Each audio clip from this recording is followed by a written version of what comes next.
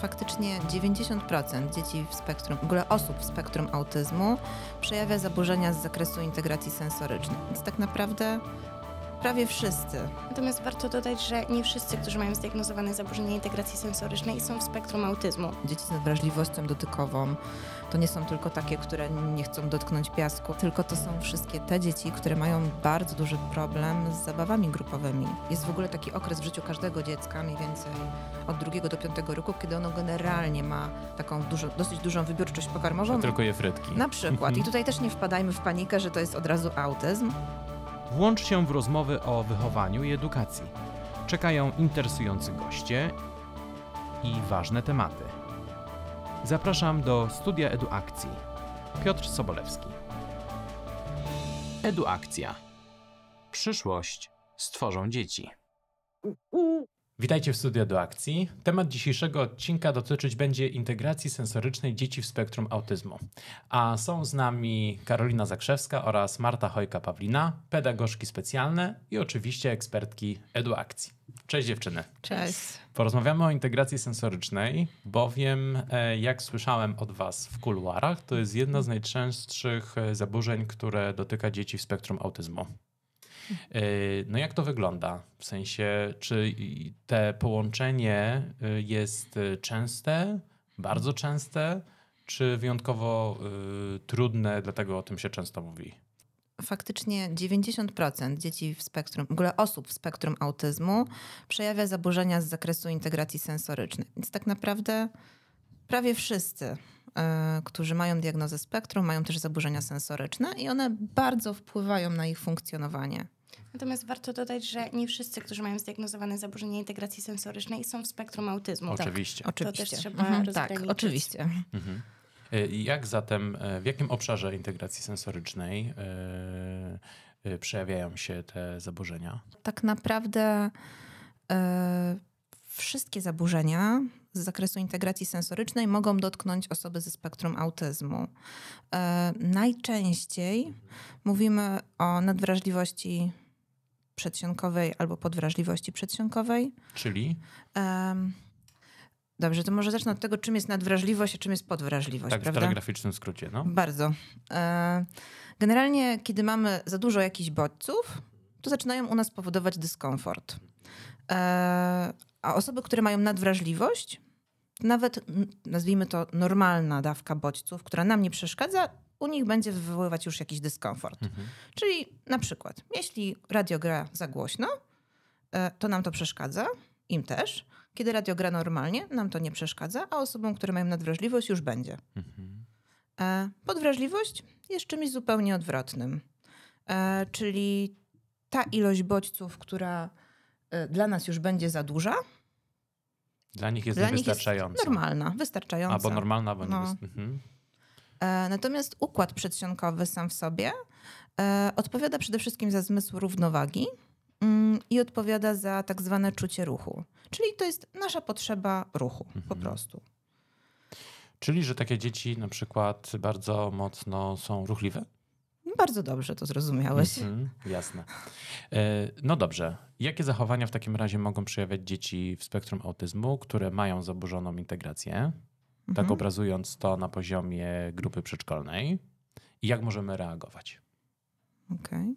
Najczęstsze. Najczęstsze to na pewno e, nadwrażliwość słuchowa. Mhm. Nadwrażliwość dotykowa też się często e, jest też często można ją zaobserwować u mhm. dzieci ze spektrum autyzmu.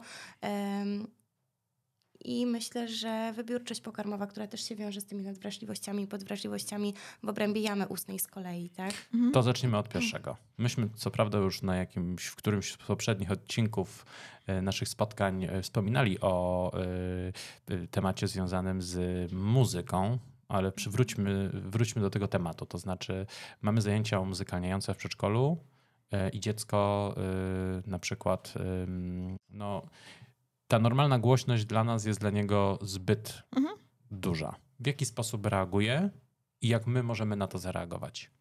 Na pewno się tutaj pojawi zatykanie uszu, żeby odciąć się od tego bodźca, który jest dla niego nieprzyjemny. E, może pojawić się też krzyk, płacz. E, wbrew pozorom nam się może to wydawać dziwne, tak, że mhm. dziecko ma nadwrażliwość słuchową, a jeszcze powoduje dodatkowy hałas i krzyczy i płacze. Mhm. Mm, ale e, krzyk i płacz są znanym jemu dźwiękiem i on sobie w ten sposób trochę też zagłusza te mhm. bodźce płynące na przykład z radia, tak, tą piosenkę, która leci. Mm, a jak reagować? Przede wszystkim bardzo pomocne będą słuchawki wyciszające. E, I tutaj warto, żeby dziecko je miało i w przedszkolu, i w domu. Mhm. Bo jeśli ma nadwrażliwość słuchową w przedszkolu, no to wiadomo, w domu też ją będzie miało, na ulicy ją będzie miało tak naprawdę w każdej sytuacji. E, takie zachowania mogą się pojawić, więc tutaj możemy poprosić rodziców o zakup. E, dodatkowo możemy posadzić dziecko e, dalej od źródła dźwięku niż większość grupy. Czyli żeby... mieć na, na, uwadze to, żeby nie stało przy na tym przy magnetofonie. Mhm. tak, albo właśnie przy magnetofonie. No myślę, że tutaj przy, przy nadwrażliwości, tak, przy nadwrażliwości to, to takie najważniejsze kwestie. Właśnie bycie z dala od źródła dźwięku i tak. te słuchawki wygłuszające, jeżeli nie jesteśmy w stanie odsunąć dziecka od źródła mhm. dźwięku, tak? Na przykład jak mhm. jest jakieś przedstawienie, jest większy gwar, hałas, to, to wtedy na pewno słuchawki będą bardzo pomocne. Mhm.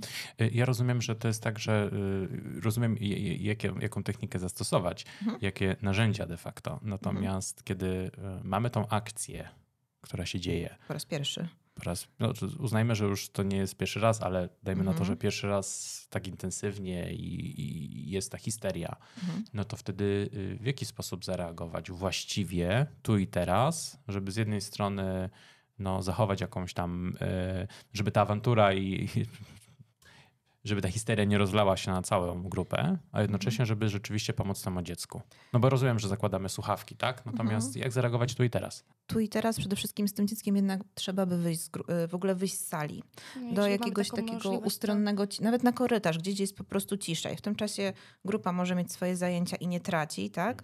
E, a to dziecko potrzebuje chwili na to, żeby się uspokoić, żeby wyciszyć. Żeby się, odciąć też od tych bodźców, tak. których było za dużo, nie? Żeby e, to nie było tylko minimalizowanie ich, a takie zupełne odcięcie i danie czasu dziecku na e, wyciszenie się. Tak. E, jeśli wraca do grupy. Oczywiście, na... jeśli mamy taką możliwość i mamy na przykład nauczyciela drugiego. Tak, jeśli jesteśmy we, dwo... mhm. we dwoje. E, jeśli jesteśmy sami, no to wtedy staramy się na chwilę, no musimy przerwać te zajęcia, tak? Bo jednak kiedy mamy histeryzujące dziecko, to one i tak nie będą funkcjonować. Siadamy z tym dzieckiem albo wyłączamy w ogóle muzykę, odchodzimy od koła, siadamy gdzieś w kącie pod ścianą, gdzieś, gdzie będzie trochę ustronniej niż mhm. na środku sali i wtedy dajemy mu dosłownie chwilę na wyciszenie. Proponujemy mu, że może na przykład sobie teraz zatkać uszy, jeśli to mu pomoże. Możemy dać mu jakiegoś gniotka, coś, co by też oderwało jego uwagę w tym momencie e, od, od tych bodźców, które są dla niego niekomfortowe. Jasne. Przejdźmy zatem do dotyku. Jak to mm. się mhm. może objawiać?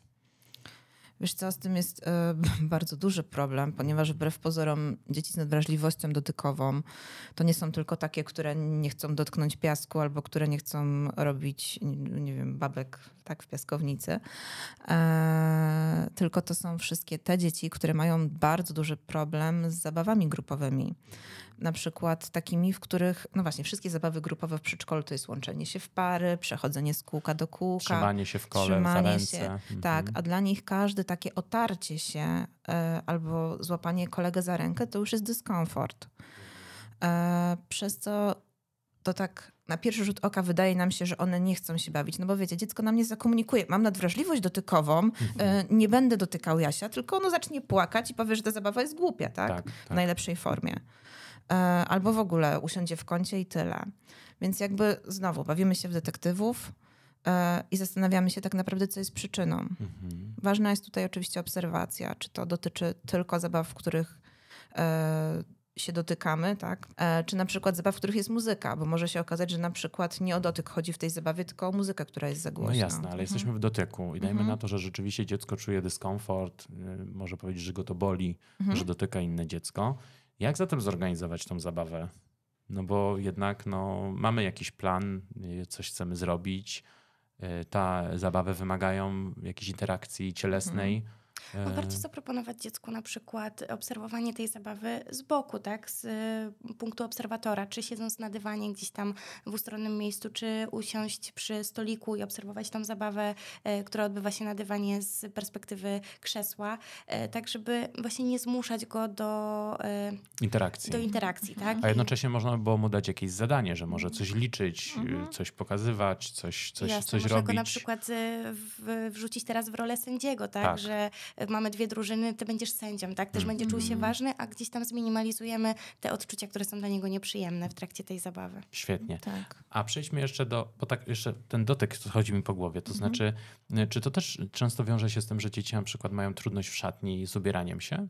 Tak. Że na przykład boli ich jakiś no, zbyt duży ucisk Mm, no znaczy, może, może nie tyle ucisk, bo za to odpowiada bardziej układ preproceptywny, tak. ale na przykład ubrania i faktury mogą być dla nich metki, nieprzyjemne, e, metki w ubraniach. Ubierać. Na przykład warto też zaobserwować, jeżeli e, widzimy, że dziecko często e, właśnie bez wyraźnej przyczyny krzyczy, płacze właśnie w sytuacji czy w szatni, czy w toalecie i nie mamy innego pomysłu, nic nam więcej nie przychodzi tutaj do głowy, jak, jaka mogłaby być przyczyna, warto na przykład zaobserwować, czy gdzieś te ubrania nie sprawiają dyskomfortu komfortu dziecku i może mhm. porozmawiać wtedy z rodzicem o tym, żeby ubierać go jednak inaczej do przedszkola, bo... Teraz nawet sobie pomyślałem, że zabawki przecież mają różną mm, powierzchnię, tak, prawda? Tak, I one no. mogą też wywoływać. Tak. Co robić, gdy dziecko nie komunikuje swoich potrzeb? Wydaje się być nieobecne i nie podejmuje interakcji z innymi. Jak reagować na niespodziewane wybuchy złości? Jak postępować z dzieckiem, które nie radzi sobie ze swoimi emocjami? Rzuca zabawkami, jest agresywne wobec nauczyciela i innych dzieci. Jak pracować z dzieckiem wykazującym obniżony poziom rozwoju intelektualnego? Co robić, kiedy dziecko nie rozumie poleceń? Jak wspierać dziecko z trudnościami w nauce? Poznaj odpowiedzi w najnowszym programie szkoleń online. Dowiedz się, jak wspierać dzieci ze specjalnymi potrzebami edukacyjnymi w przedszkolu. Specjalne potrzeby edukacyjne tylko na platformie szkoleń online EduAkcja dla nauczycieli wychowania przedszkolnego. Zgłoś swoją placówkę już dziś www.edu-akcja.pl ukośnik SPE.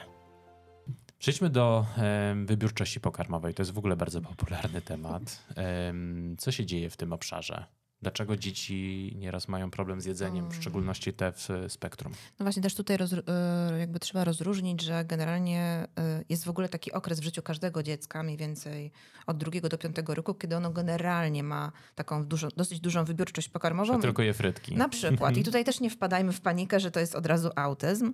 E, natomiast jakby u dzieci normatywnych to mija.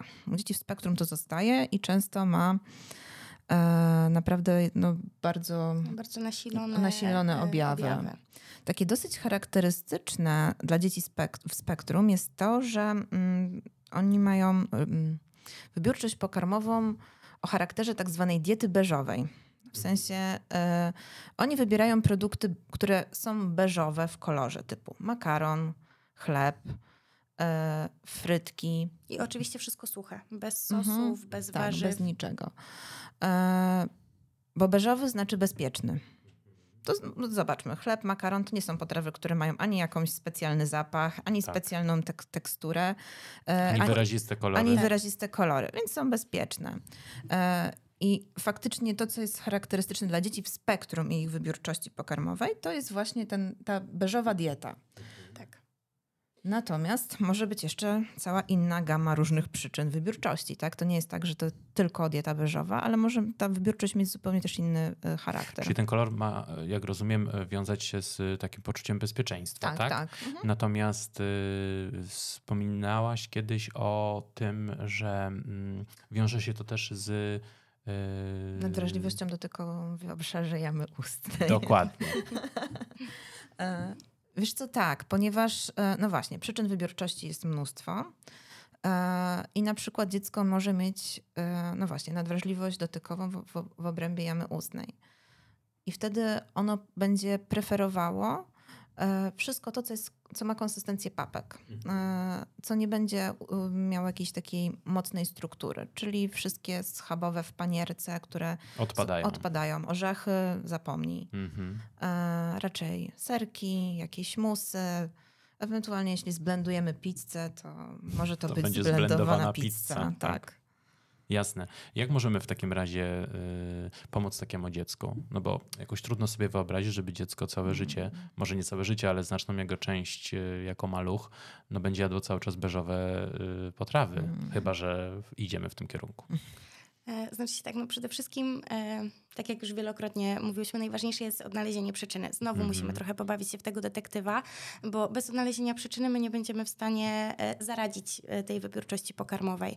Mm, No jeżeli mamy na przykład do czynienia z dietą beżową i wiemy, że to wynika z tego właśnie, że gdzieś tam ta intensywność kolorów e, nie powinna być zbyt wyrazista, bo jest nadwrażliwość wzrokowa, to staramy się powoli wprowadzać lekkie modyfikacje. Na przykład, nie wiem, smarujemy chleb jakimś beżowym sosem. E, To już e, zmienia nam trochę strukturę tego chleba, zmienia smak, e, ale nadal jest w miarę bezpieczne, bo e, jest beżowe, tak? Czyli ale małymi jest- krokami przyzwyczajamy Tak.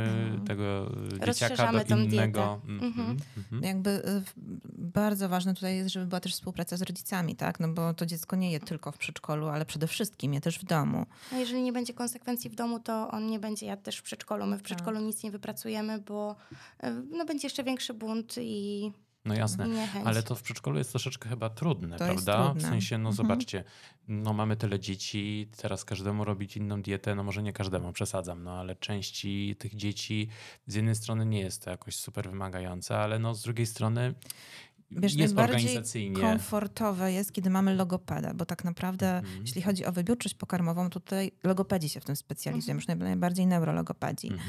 E, e, jeśli mamy takiego specjalistę w przedszkolu, to warto jakby z nim o tym rozmawiać i może on w trakcie swoich zajęć wtedy będzie stosował też jakieś masaże i będzie bardziej e, usprawniał ten aparat artykulacyjny, Mhm. żeby na przykład nie było właśnie nadwrażliwości takiej dotykowej. Żeby odwrażliwić te miejsca, Mhm. które są nadwrażliwe. Nadwrażliwa. E, My tak naprawdę bez e, wsparcia e, logopedy, jeżeli nie mamy takiej możliwości, no to najważniejsze jest to właśnie, żeby stosować zasadę małych kroków. Tak. Mhm. E, Nie wmuszać w dziecko. To pod żadnym pozorem. Cieszmy się, jeżeli dziecko już nawet powącha nową potrawę Tak. albo Mhm. poliże ją, tak? To już jest mały kroczek, który posuwa tą, wprowadzenie Sprawę tego dalej. tak, produktu.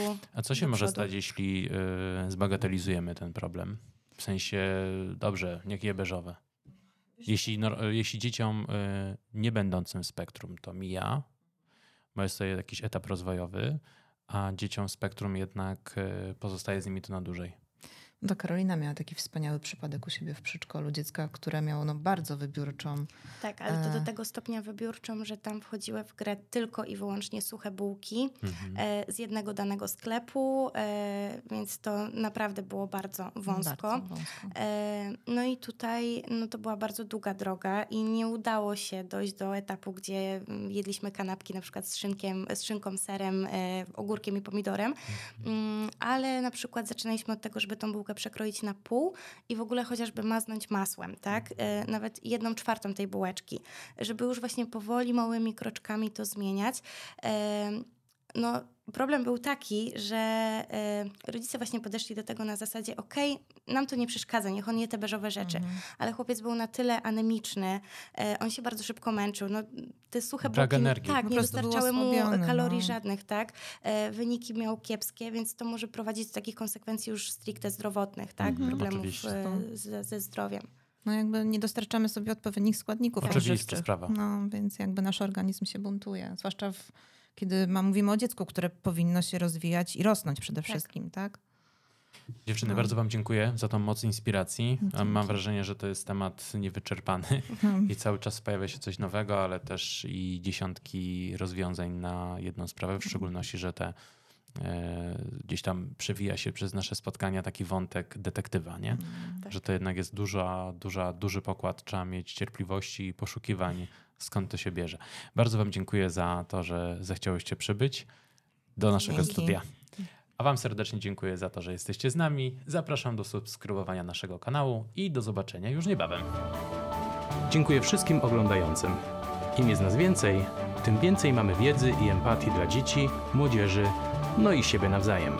Dlatego zapraszam do subskrybowania naszego kanału. Eduakcja. Przyszłość stworzą dzieci.